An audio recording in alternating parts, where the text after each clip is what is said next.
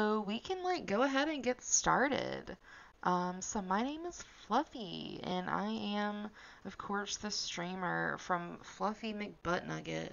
So, um, I am, I decided to do a true crime podcast um, in which I tell you guys a story, a fun little story.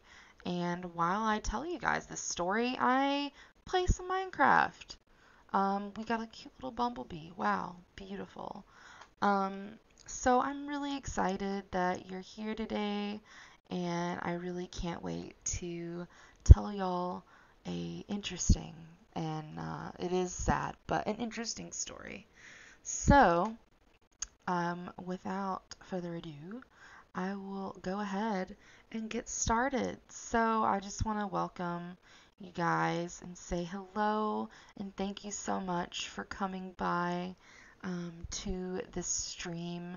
I will warn you guys, I'm probably not going to be too, too active in chat, um, but um, there will be times where I definitely will be um, looking and seeing what you guys have wrote and what your opinions are. Hello, Hunter. Hello, hello. Thank you so much for coming by. Um, but there will be times that I uh, do come by uh, chat and see what's going on. So, um, I just wanted to let you guys know that this will be a mature stream. My Twitch already has a mature warning on it. Um, but just in case uh, you guys didn't see it, uh, this isn't for kids. I will be talking about murder. Um, I will be talking about really upsetting subjects, and so this just isn't something that kiddos should see. Uh, I also want to give a uh, trigger warning um, because there will be instances of domestic violence, um, like I said, murder, gore. Hey, Ms. Hello, hello. How are you? Thank you for stopping by. Um, like I said, this you know, this is your trigger warning. This is your content warning because um, things will not be peachy in this stream. We're going to be talking about some serious subjects. Um, I also wanted um, Ms. Crimecraft is a live stream about um, true crime, and we're going to do some gaming. So thank you so much for joining. I'm doing well. Um, so I did want to let you guys know that in my overlay, um, which you should be able to see, um, I do have the domestic violence hotline and suicide, uh, the National Suicide Hotline. Um, if you're not from America and you need other hotlines, we can definitely hook you up with those hotlines. Um, and lastly, I want to say that we are raising money for the Family Safety Center. So, the Family Safety Center actually um, this might give you a little bit of a hint as to what we'll be talking about. But the Family Safety Center is a um, nonprofit near me that deals with um, intimate partner violence uh, or domestic violence. But they don't just help um, uh, heterosexual couples, they are LGBTQ friendly.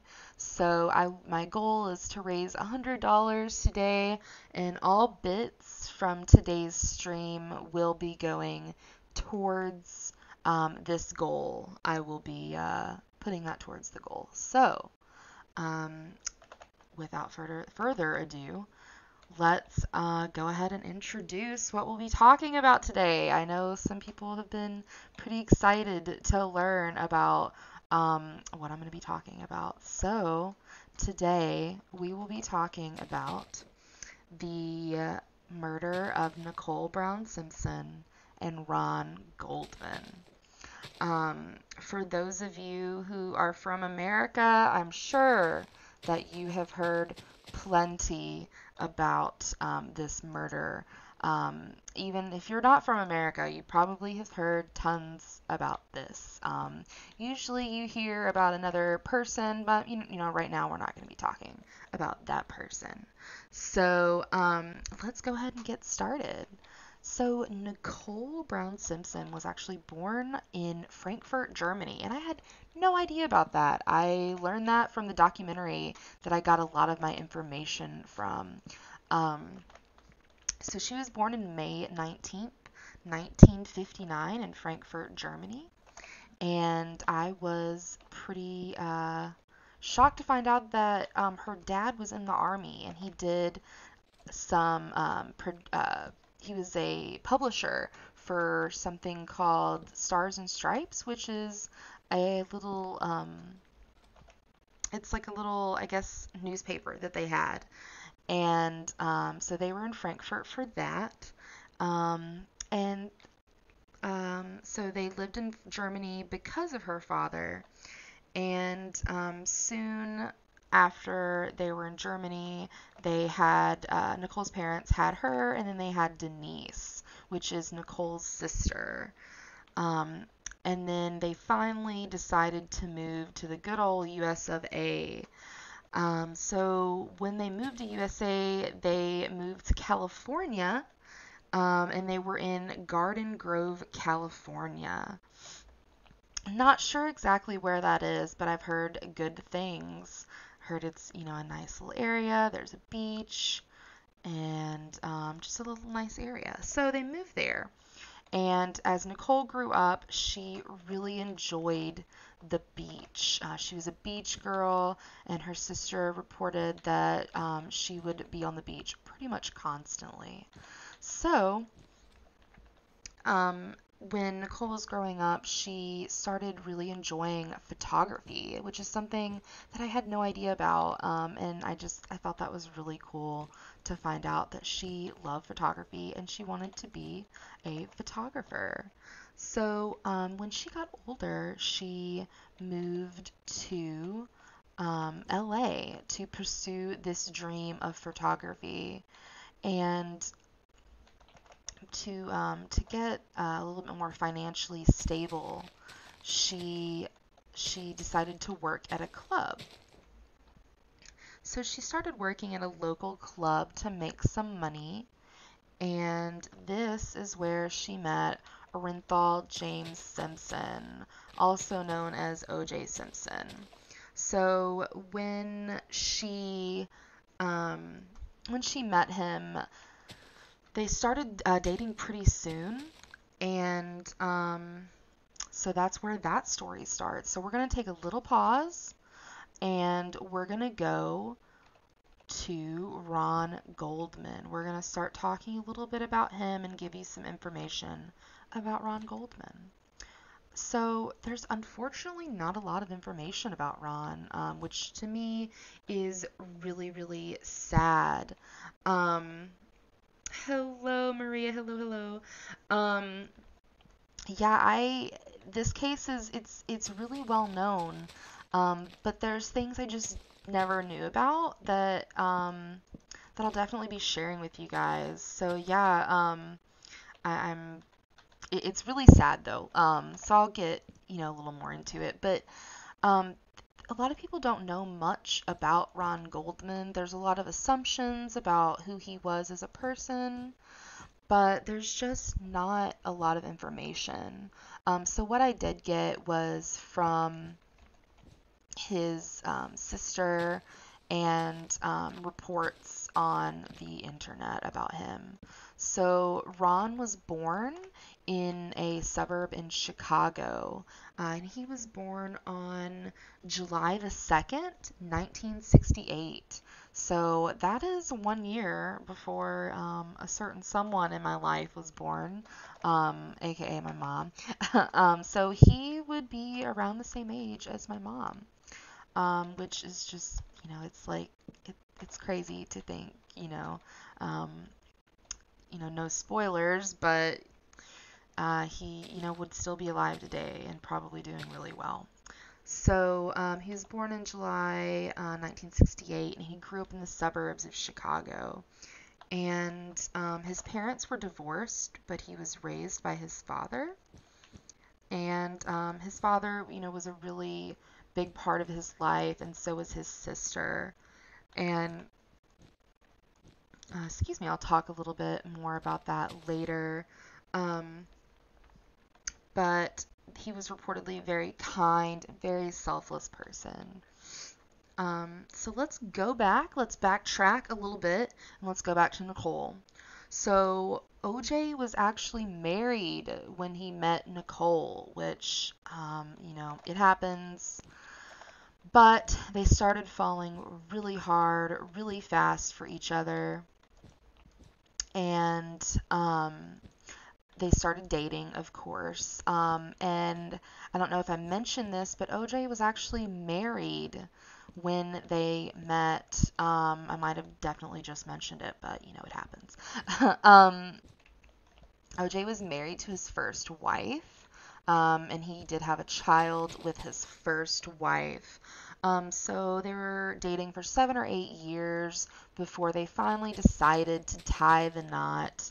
Um, the uh, Nicole's sister, which was in the documentary, reported that the wedding was just absolutely beautiful. Like you could tell in the way she was describing it, um, there was just so much love and so much happiness at this wedding, um, which to me just just it just makes this this story like eight million times more heartbreaking. Uh, I'm not gonna lie.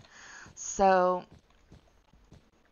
um, they got married and the sister also reported you know like when they were you know at the wedding they had one of those like fancy you know dancy fun weddings um, which you know in the south uh, my parents wedding they got married in 92 um, my parents wedding was not very dancy uh, my parents aren't big dancers so like it was just one of those like really fun fun filled um, weddings. And the sister reported, Nicole's sister was like, I just remember us all singing We Are Family. And everyone was just so happy. So, um, life for them after marriage was like was, was just dreamlike of course you know they had their little honeymoon phase um, they were happy and they actually had a child in 1985 uh, this child's name was Sydney, um, and Nicole was so thrilled to have Sydney. She loved being a mother. She she loved her daughter so much, um, and things were just really wonderful. And then they had Justin a few years later, which uh, was their son. So life was um, life was really great for them. Hunter, does this case get mentioned in the O.J. Simpson doc on Netflix? There, I think there's a documentary. Um, I'm not sure which one you're talking about, but um, this it, it's probably definitely discussed, but they probably discuss a little bit more about OJ. Uh, they kind of focus a lot on him. Um, sometimes, and I'm just not really a huge fan of that. There is a documentary though that I really like. It's more, it's not really a documentary, but it's a show um, called The Trial, um, and I can definitely mention that later. So. Um, just remind me and we can talk about that because it's about the trial. Uh, I think it's called People versus O.J. Simpson, and that was it's a it's a fantastic um, reenactment of the trial. Uh, hi, Bongo. Hello, hello. Thank you so much for coming by. So, so life was perfect for um, Nicole and Ron, or Jesus, Nicole and OJ. Um, and um, unfortunately, it looked perfect from the outside, but on the inside, it uh, inside their home, it just wasn't that great. Um, unfortunately, Nicole was being severely abused at home. I'm not sure when the abuse started, but um, one of the most uh, notable instances I will definitely be talking about. Um, so, on the um, on January 1st of 1989, which is the year my husband was born, so it's not too too long ago. Um, on January 1st, the uh, police in uh, California got a call uh, for domestic abuse. A woman was incredibly frantic on the phone. Um, she was crying hysterically and um, so they came out. And when they got there, a woman, um, well, actually, you know what? Let's get there. Um, when they got there, the um, the police were told that nothing was wrong. So they buzzed the intercom and they said, or um, they buzzed the intercom and someone told them, "Oh, everything's fine. You can go home." Thankfully, the police actually did their job um, in this case. Um, and they said, no, you know, we can't leave. We've got to check in on things. And at that time, at that time is when um, a girl comes out of the bushes and she's sobbing. She's hysterical. Um, so this is when Nicole, you know, runs to the police and she says, He's gonna kill me. He's gonna kill me over and over again. And when they're asking, you know, what's wrong, she says something that just fucking strikes me. She said, You never do anything about him. You talk to him and then you leave. That, when I heard that, I just, I lost my shit. Uh, I think I, I, I'm trying to remember where I read it, and I will definitely give my sources, of course um, like a good researcher would. Um, but where I read that, when I read that, I was just absolutely just, I was just shocked. Um, so the party friends, uh, the friends that were at the party, said um, that they saw OJ hit her, kick her, punch her, and he slapped her so hard that there was a print of his hand on her neck. Um, and I, I just I don't I, I don't understand that. Like I, I mean I get it obviously, but I just I don't. how hard do you have to fucking hit someone? You know what I'm saying? Like how hard do you have to hit someone to leave a print like that? Um, so this wasn't it, it wasn't nothing obviously. Um, and later on, we find out that the person who said that everything was peachy, everything was fine, was actually the housekeeper. It was not Nicole. So it was just a big fat lie. Um, so this police report came in around 3:30 a.m. Um, and thankfully, like I said, the police did demand to see her. Um, so after this um, instance of abuse, which of course there were more, um, but after this instance of abuse, um, OJ did go to court for this. However, he was able to uh, weasel himself out, which, um, you know, when you have good lawyers, it just, it's disgusting, but it happened. And also, it was the 90s. So, it's just, it's unfortunate. Um, but that is how you know that went. So OJ, um, people wanted him to go to jail for this, but he and they wanted him also to go to like an abusers counseling, which um, in my line of work, I have actually I've never been able to go, but I do know of um, some places that do um, counseling, like group therapy for um, people who have abused other um, women. So, um, thank you for asking that question, Thomas. I'm getting to that uh, right now, actually. Um, so, this punishment that he got, are y'all fucking ready? He was fined 700 fucking dollars.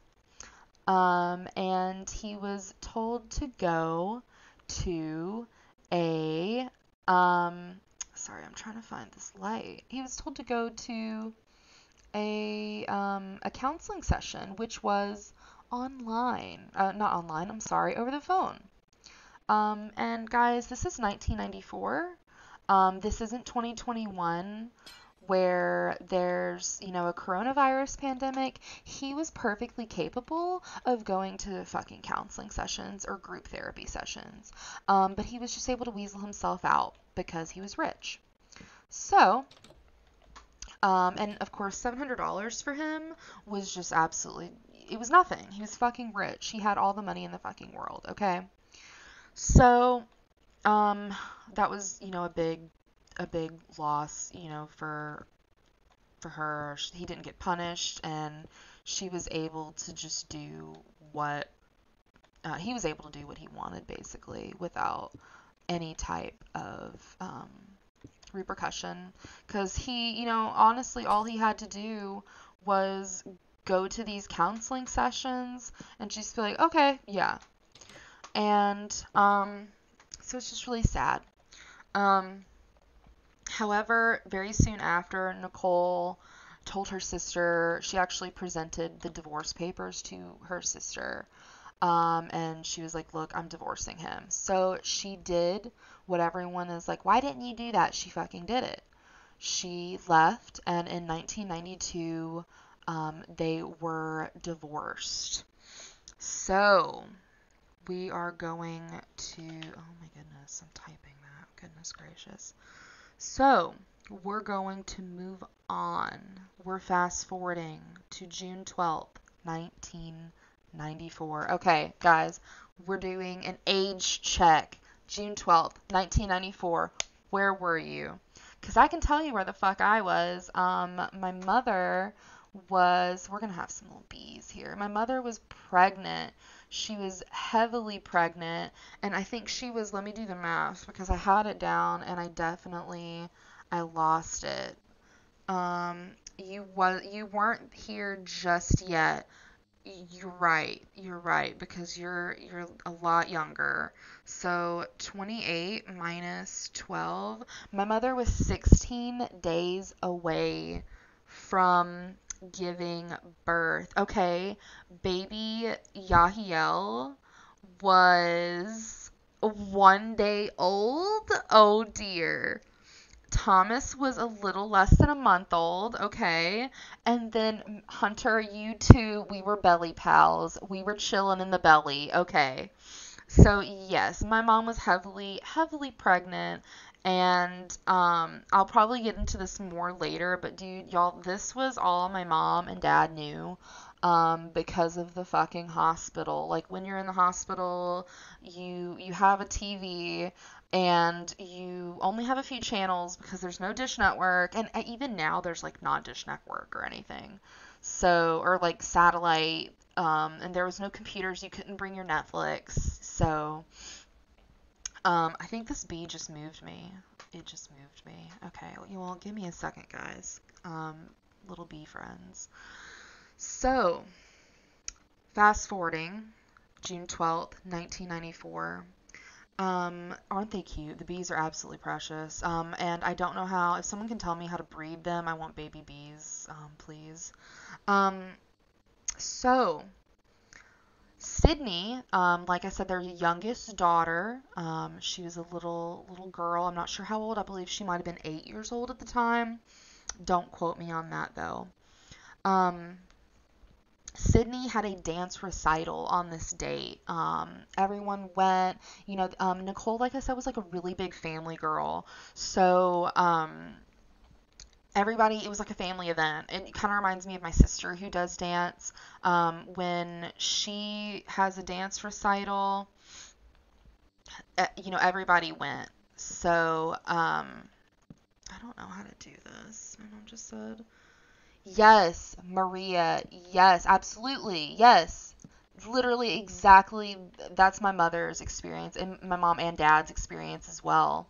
Um so 100% relatable. Oh, I hit a bee. Um, I hit a bee.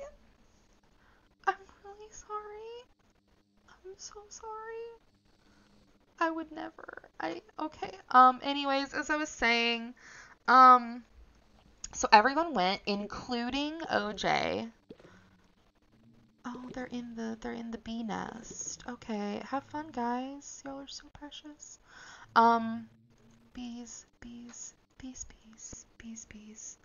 Uh, I know. I'm so sorry. I'm just really upset right now. Um. Okay. So.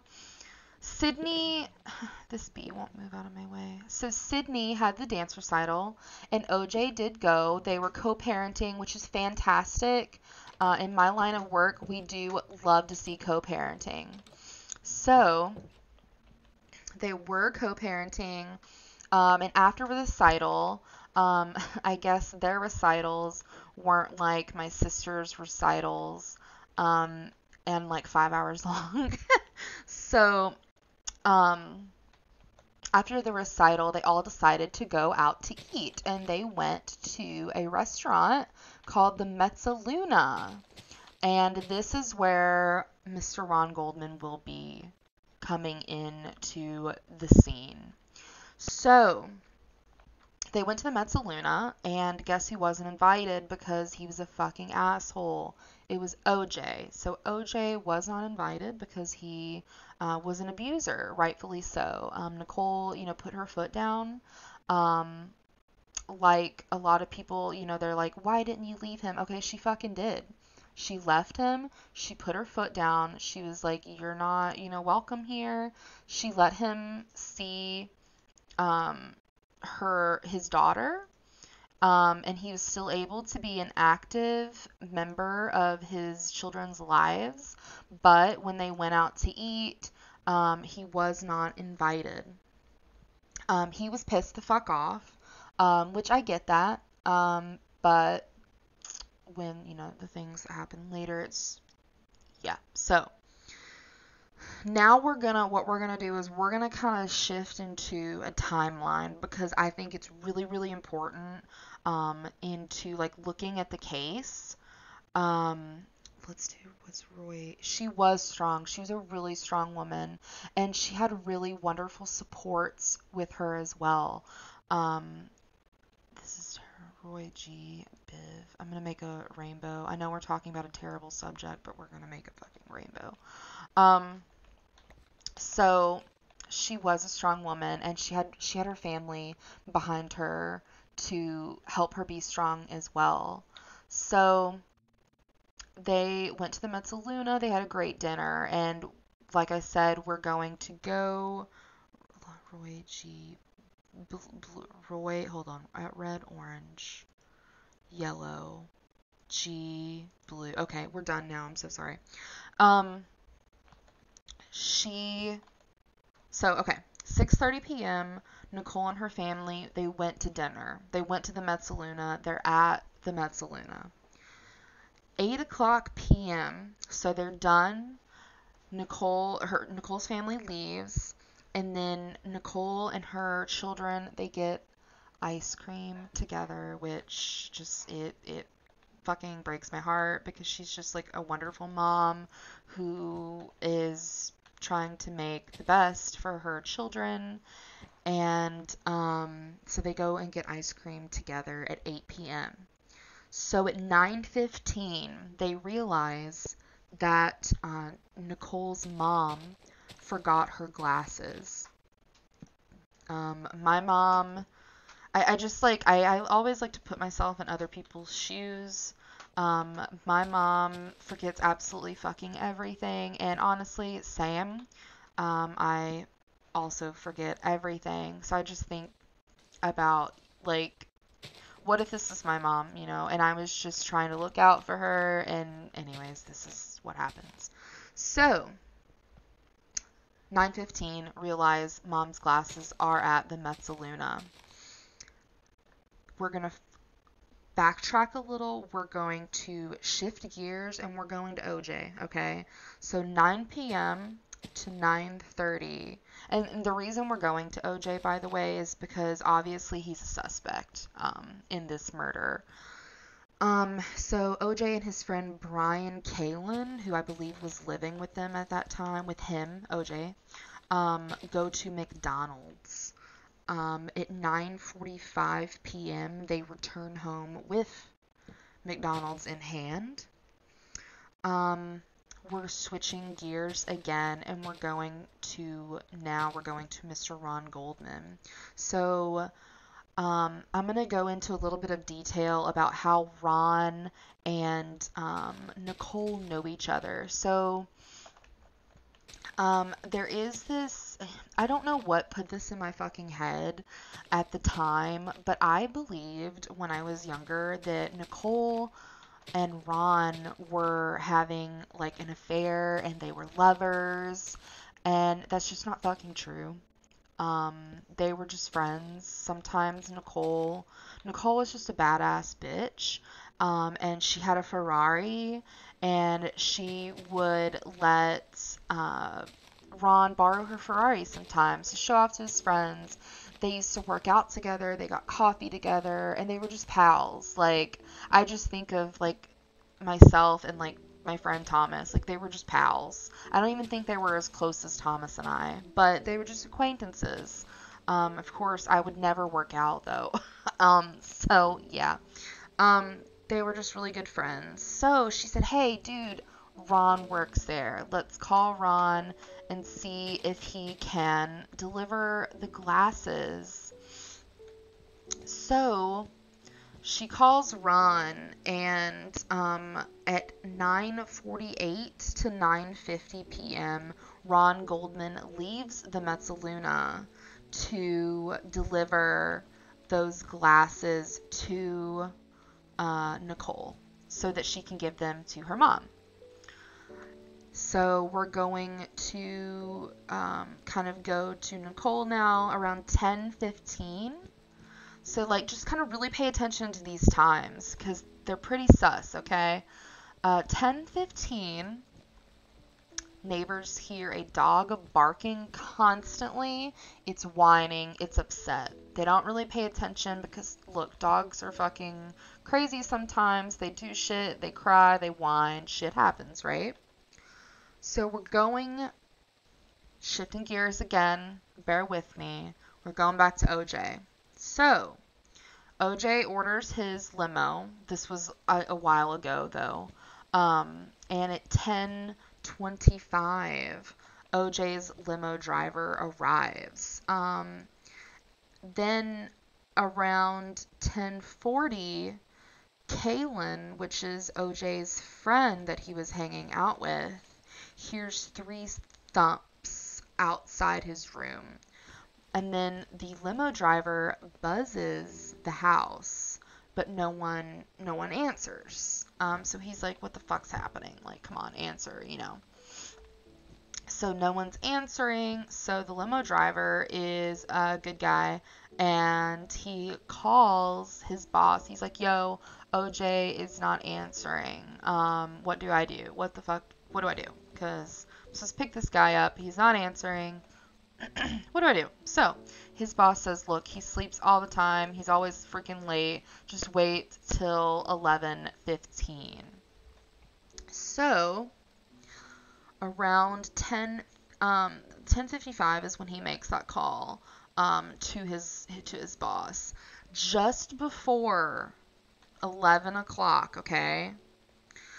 the limo driver sees a two, uh, let's say, I think he says around 200 pound, six foot African American male walking um, across the driveway of the property and he's going towards the house.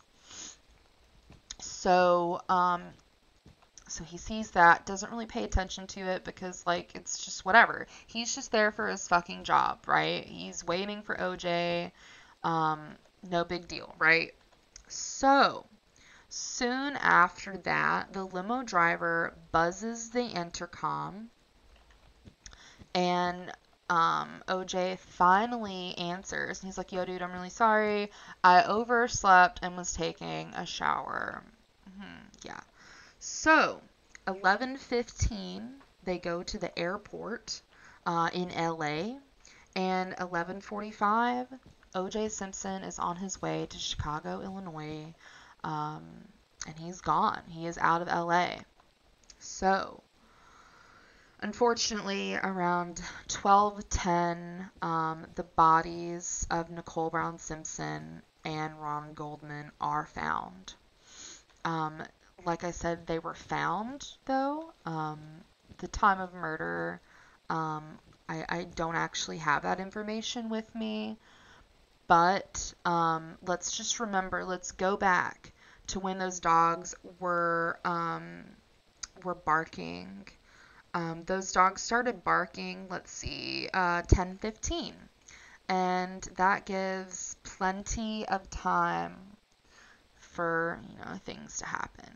Um, so let's switch perspectives. We're going to the police. Um, yeah, I am. Yes, two people were murdered. Um, and the reason that Ron, I'll tell you why I think that Ron was murdered, but I'll, I'll get to that in a second. But yeah, I'm making a rainbow just because it's really cute. It's really pretty. It's a little road, a little rainbow road. Um, and it's happy and it's just, it's relaxing. So, um, that's a really long rainbow road. Um, yes, it was not just Nicole. It was Ron Goldman as well. Um, so at 12:09, dispatch is called. Um, the patrolman is flagged down by two witnesses, and those two witnesses are accompanied by a dog on a leash. Uh, let's remember what was happening. Remember, there is a um, there was that you know report. There there was a dog going crazy, and I'll get to my theory um, about what I think happened.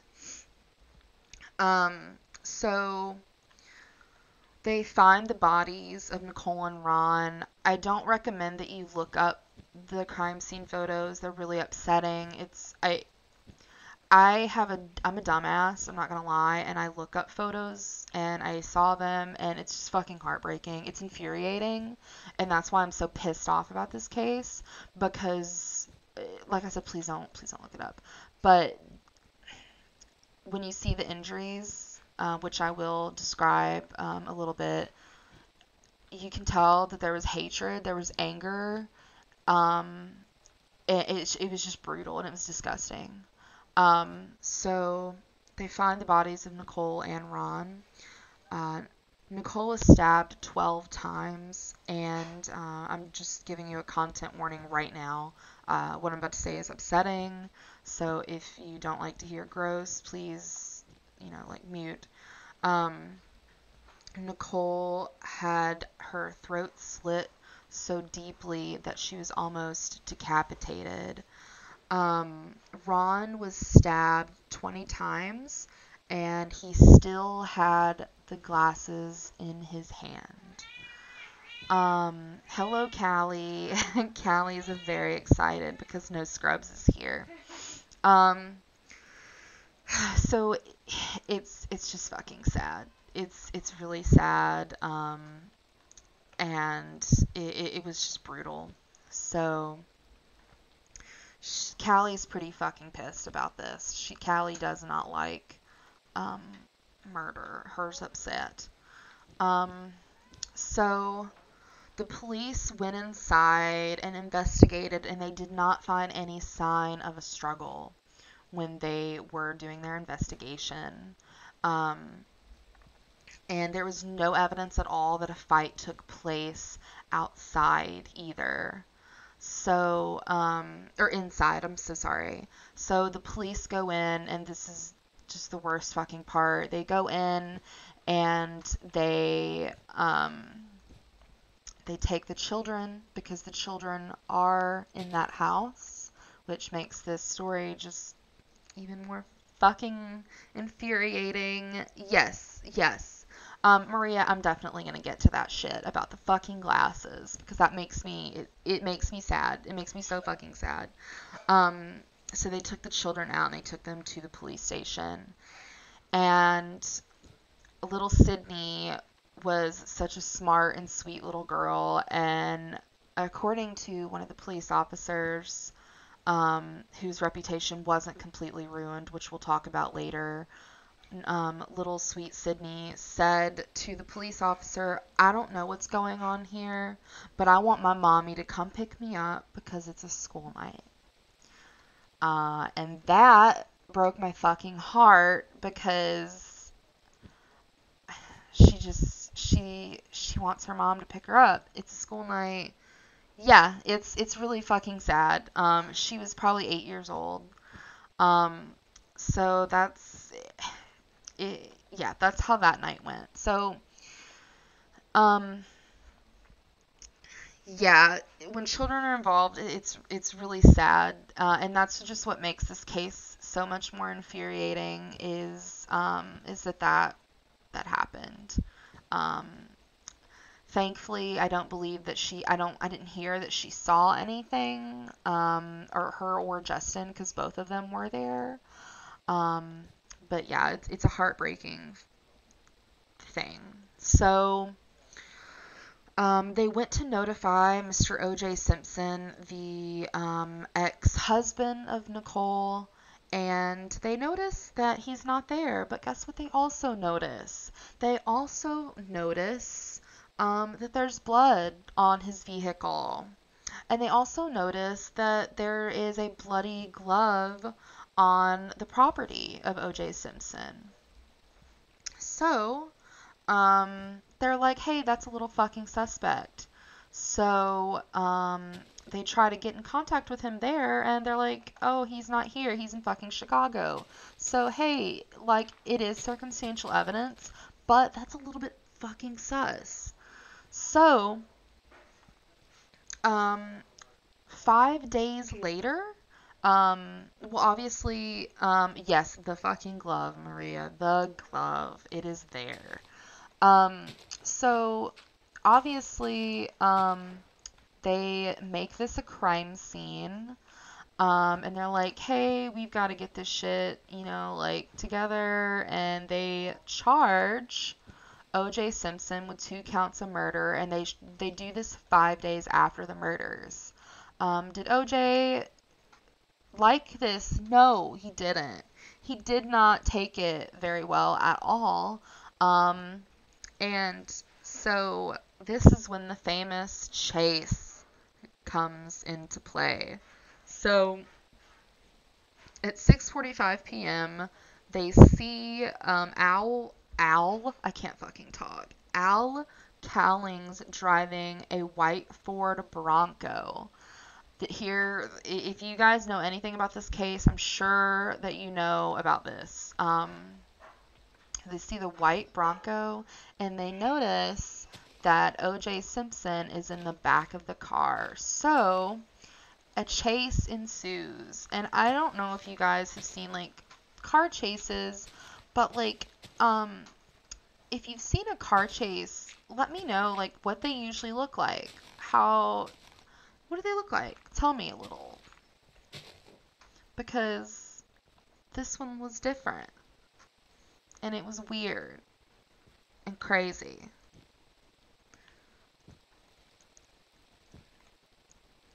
Car chases um, usually are pretty crazy and they're fast and everyone's rushing around and there's police everywhere and everyone's pulled over to the side of the road, right?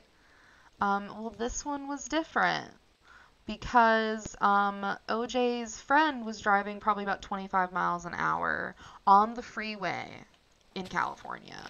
And um, the freeway in California, you don't go 25 miles an hour.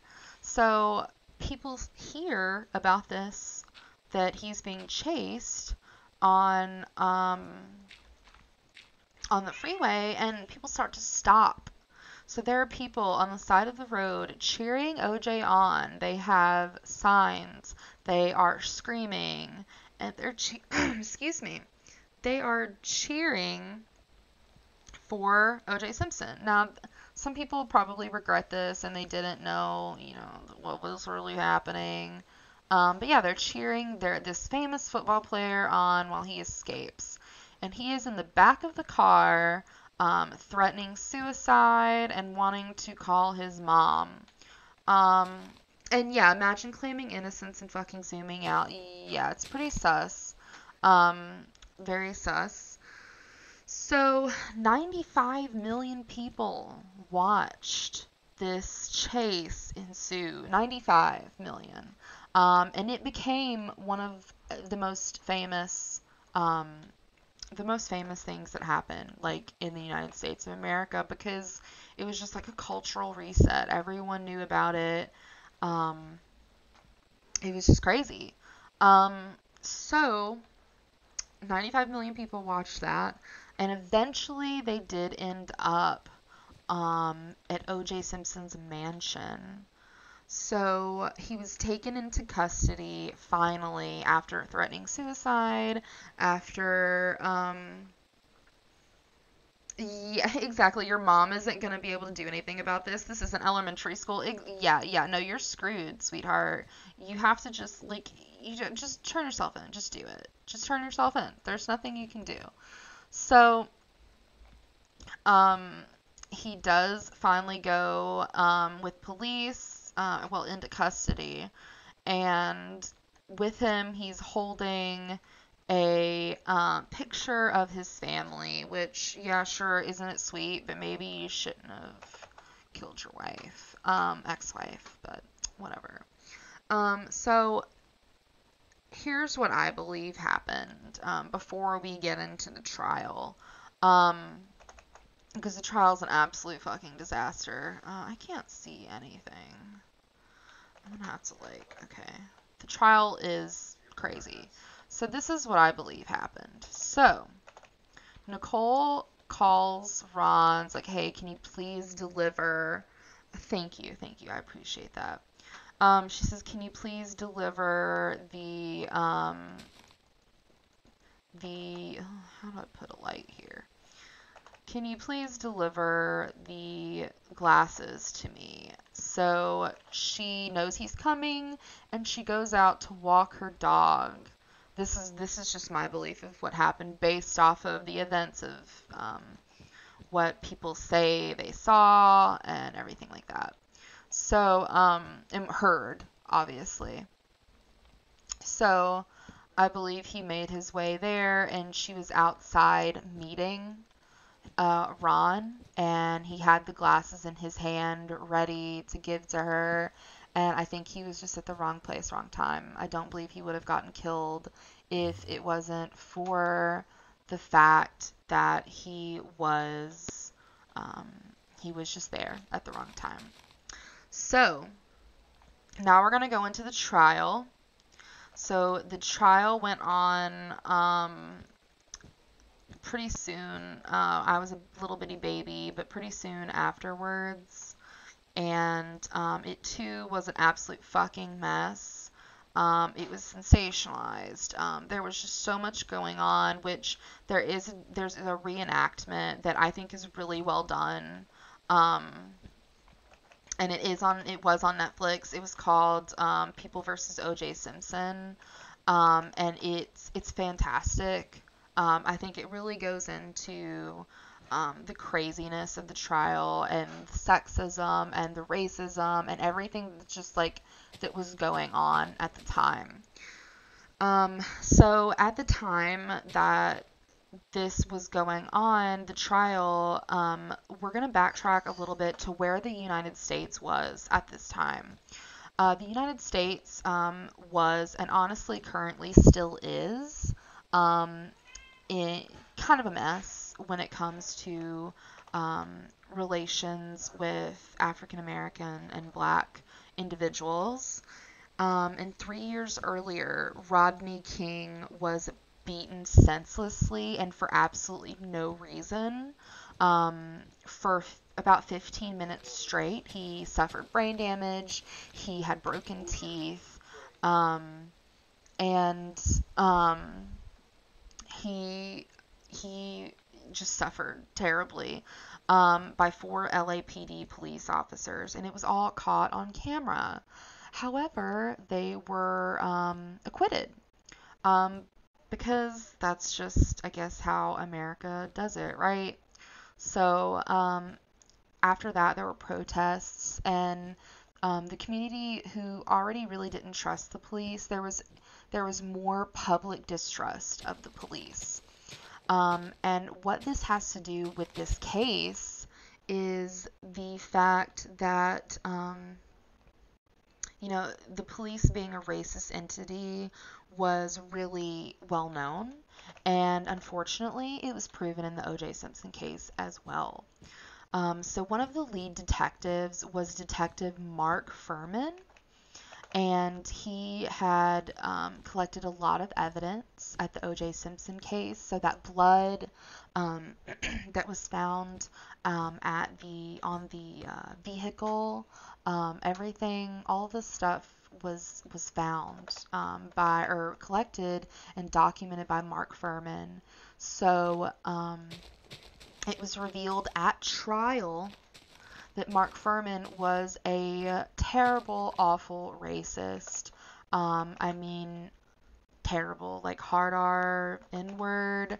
He talked about um, disrespecting African Americans um, and just not caring about them at all. Um, and he was torn apart, rightfully so, on um, on the stand. So when we think about this and what happened with the case um, and with with the justice system, um, unfortunately, the defense used this to their advantage.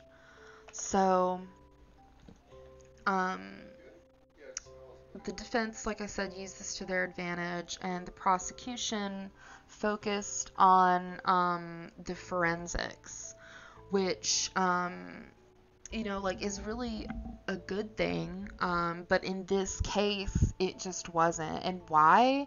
Um, why it wasn't really a good thing is because um, forensics weren't really well known at the time, and they focused so heavily on it. Also, who collected the forensic evidence? It was the police, the racist police. So, this is how we get into why this matters. No one trusted the police, and this inc- in- includes the jury. So the defense did exactly what they're supposed to to do. They put doubt in the jury's mind, and O.J. Simpson was acquitted of the murder of Nicole Brown Simpson and Ron Goldman. And I would just like to personally thank uh, Mark Fuhrman for this because I just believe that this wouldn't have happened if we had moral, upstanding citizens as our detectives who weren't racist, um, and the police itself, the SIP system wasn't a racist entity. I just don't believe that this would have happened um, because we would be able to trust that forensic evidence. We would be able to trust everything that we got from the prosecution. but instead, you know, the defense was able to put up a really good defense because um, there was people that just weren't trust trusting in the um, police system. So, O.J. Simpson was acquitted. However, later on, um, a civil lawsuit was brought on by um, Ron Goldman's family. Um, so Ron Goldman's father and his sister, they were um, really in the media a lot, um, and they were really great uh, folks. Um, I think um, who were really trying to advocate for the victims because people weren't focusing at all on the victims. They were focusing on OJ, OJ, OJ, OJ. It was all about OJ. Um, so a civil suit against OJ Simpson um, took place, and um, he actually lost the civil suit. So he was ordered to pay $33.5 million to the families of Nicole Brown Simpson and Ron Goldman. Um, so while OJ was free, the motherfucker was broke. Um, it's not a happy ending. However, um, I think, you know, it's kind of nice that at least he's broke. Um, so, kind of following up on that, later on, um, OJ's dumbass decides to write a book called If I Did It. Um, which to me it's just disgusting. Um, it's it's rude, crude, just just ridiculous. So um, he creates. I'm looking for cute animals. Um, he it was thirty three point five million dollars. Uh, Thomas.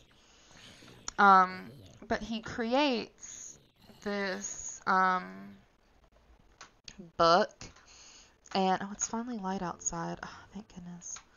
Um, he creates this book, and uh, the proceeds, 90% of the proceeds of this book goes to the families of Ron Goldman and Nicole Brown Simpson. So that's good.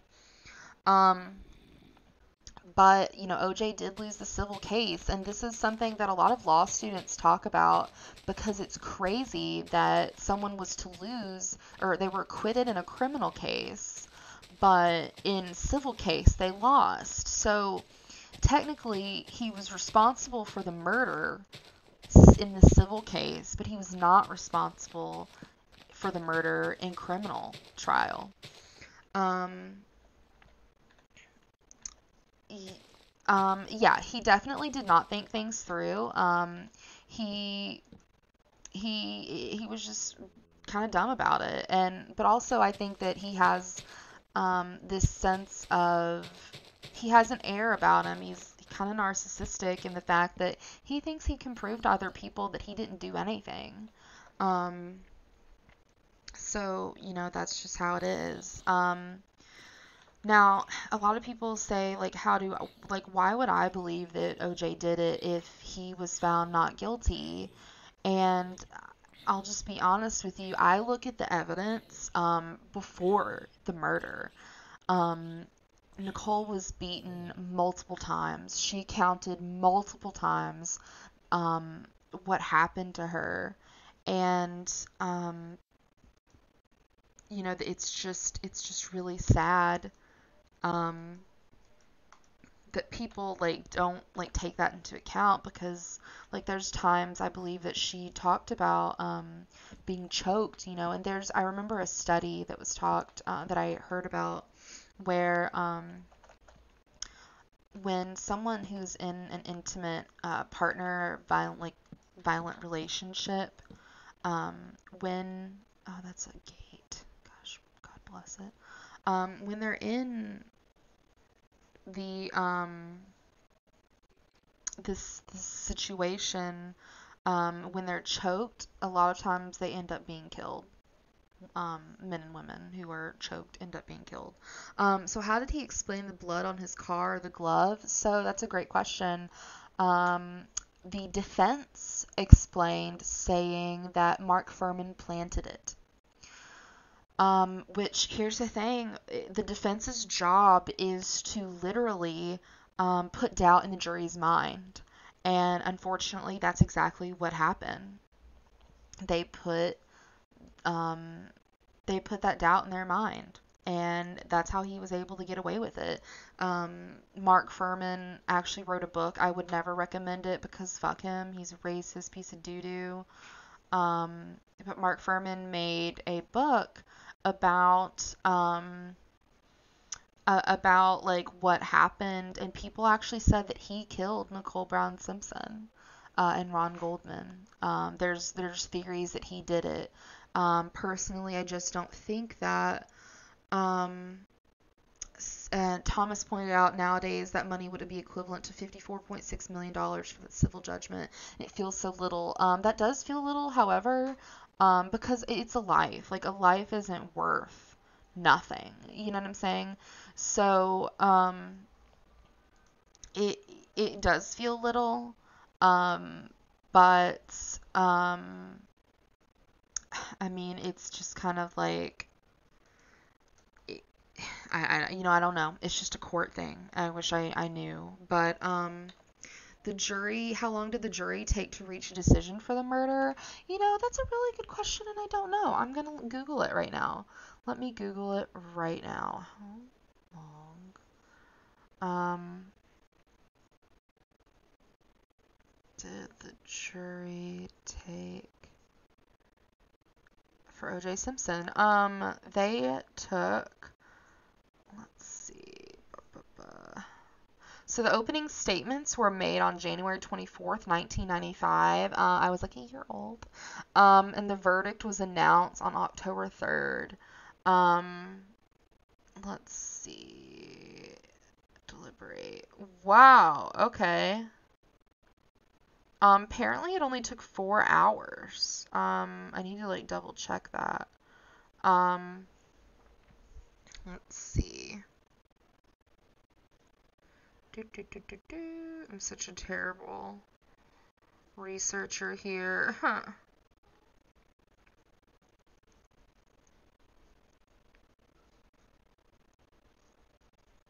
Let's see.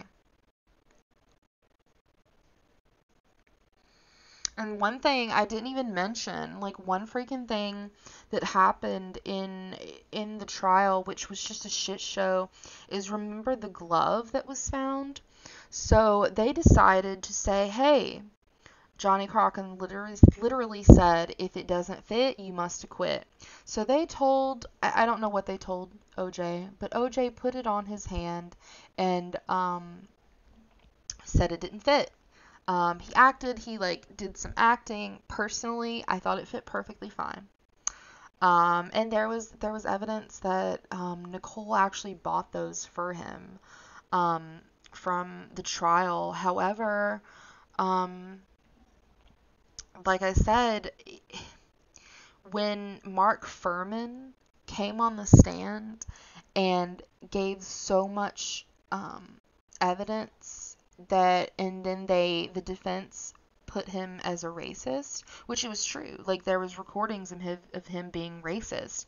Everything was torn apart, and the prosecution had nothing um, at that time because it's it does it's not believable. So um, let's see, three months. Let's see.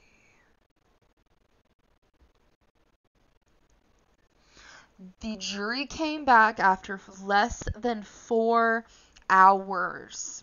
So, Maria, good question. The DNA, um, I, I believe the DNA was matched. Don't quote me, but it was matched to O.J. Simpson. However, the defense put in the jury's mind that the blood was put there by Mark Fuhrman. So if there's a doubt in the jury's mind, they're going to let him go. So, um, unfortunately, that that's how he was able to get get away with it. Um, The fence. Um, and, and it, it's it's unfortunate, but I, I mean that that's how it is. However, I do have some good news. Some good news. Um, so uh, I don't remember the year, um, and I don't really even have this in my notes. But um, in the year, I think it was around in the 2000s, um, OJ was caught stealing his own memorabilia um, because he was trying to sell it to make money to basically uh, he was broke. He's absolutely fucking broke. He had no money nothing. So he did go to jail and he just recently, a few years ago, um, got out of jail. Uh, you know, he was he's paroled, so like he does have like a parole officer, but he did um, he did end up going to jail because he did criminal shit. Um, so there, you know, a little bit of karma was served. Of course, he wasn't put away for life like he deserved, um, but he um, he did have to pay those consequences a little bit. Um, and of course, uh, no one really trusts him anymore. And I hate to say it, but the American people, pretty much everyone knows that he did it. Um, so nowadays, um, Nicole Brown Simpson's family, um, they still talk a lot um, about Nicole's experience and how wonderful she was, you know, as a person and as a mother. And um, even uh, Ron's family is starting to speak out a lot more. Uh, and I would love to be able to listen to this. And I, I, I think I'm going to add this to my playlist.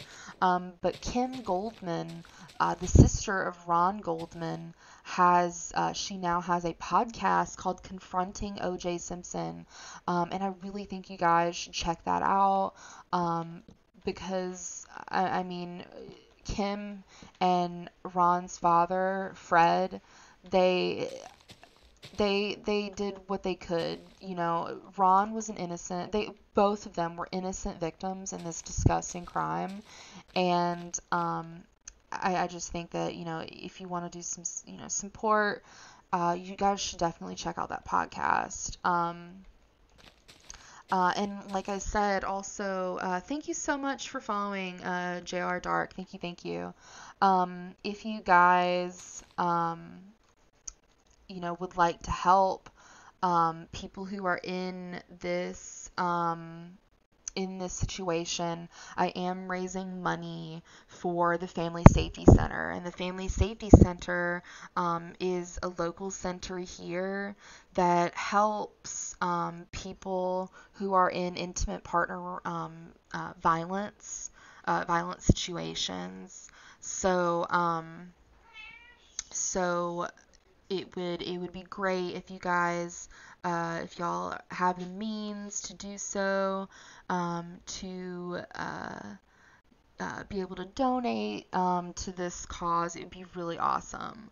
Um, so the relationship Maria that he has with his kids, um, so it's kind of it's it's difficult, but apparently, um, I think one of them believes that he did not do anything and uh, I think that's Sydney.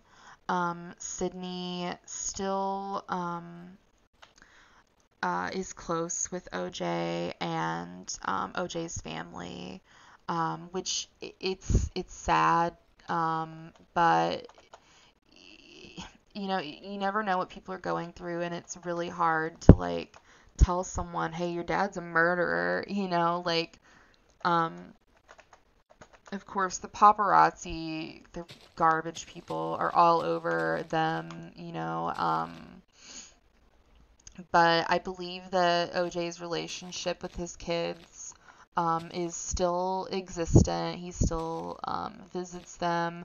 They're grown now. They are way older than than myself, um, but they're grown and they have families of their own.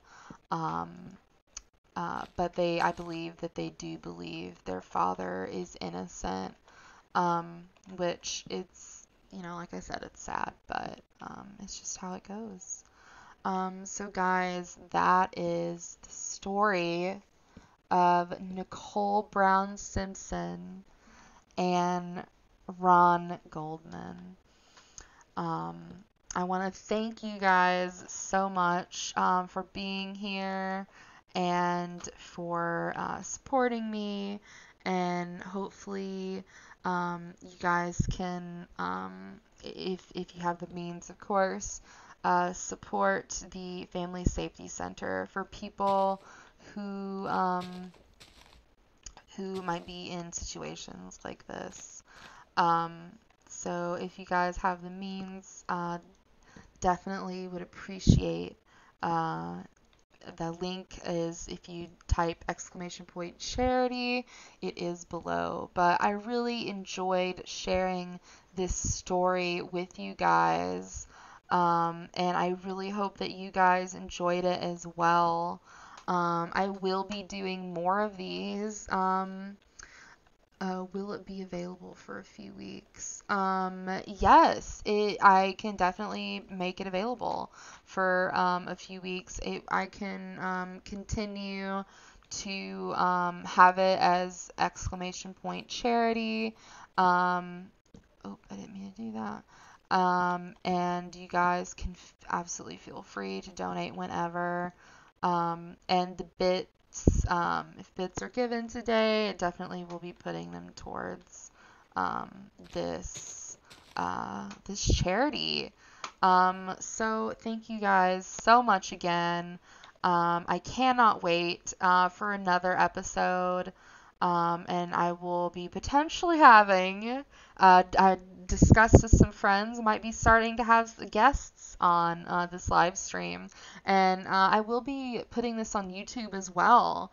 Um, so if you guys would like, um, to, you know, share it around, um, I would totally uh, love that. Because um, true crime is something that is my passion, and advocating.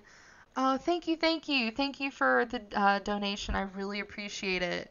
Um, there will be another episode. I don't know when it's coming, um, but I definitely will announce. So um, if you haven't already, follow me on social medias. Um, I have um, a Twitter. My Twitter is, let's go see, it is Fluffy, F F L U F F Y N U G G A M I N G, Fluffy Nug Gaming. And then we also have, um, I have an Instagram, which is Fluffy McButtnugget. It's the same um, as I have um, my Twitch um, thing, my Twitch tag. So, um, once again, thank you guys so much for supporting me. I really hope that I did this justice. Um, I I hope that uh, I did the victims, you know, good by telling their story. Um, and I will be looking forward to seeing you guys again. Um, and I really, like I said, I really, really appreciate it. Um, I will also be going live um, probably tonight again um, with uh, something else um, with just regular gaming. So yes, I am very excited for the next one. And, and I, like I said, I just appreciate uh, y'all's support so so so much. Um, it is it's truly um, it's truly appreciated. Um, I also have a Discord. Um, so if you guys have uh, a Discord, definitely um, join that Discord and I will update you guys when the next episodes will be. Um, and stay tuned because there's going to be more stuff coming. So, once again, thank you guys. Y'all are awesome. And I'll see you later. Bye.